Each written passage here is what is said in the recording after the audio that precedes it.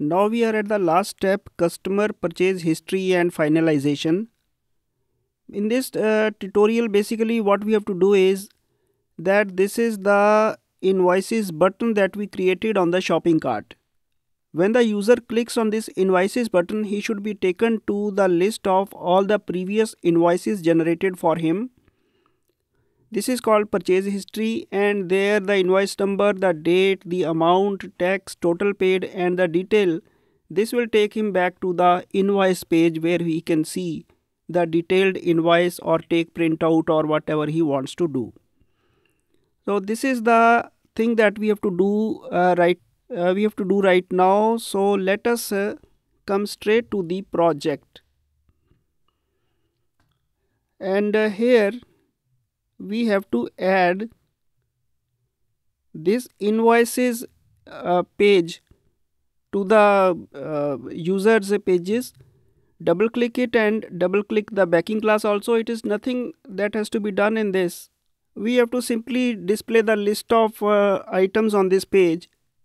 And uh, first of all we have the logger then project context the dependency injection the list of invoices that has to be shown on the page. And after this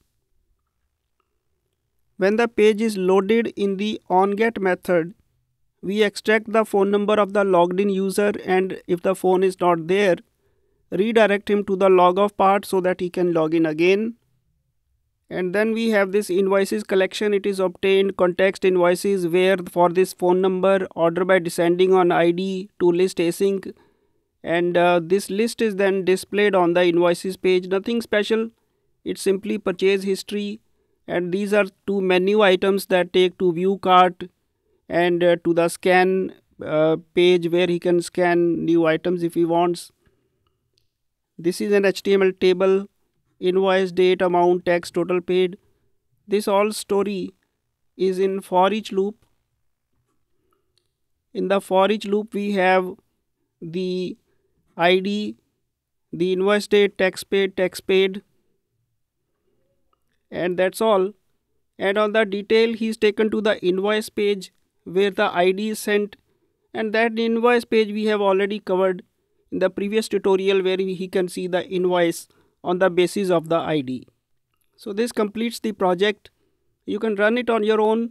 I'll show you this module.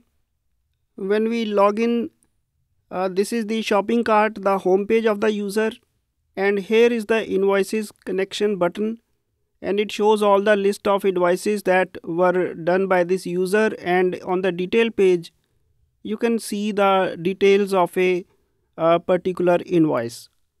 So this completes the project and uh, i think it's quite a good project for even commercial use if somebody can put this idea into practice. It can be done one way or the other so I'll close it right now. Thank you.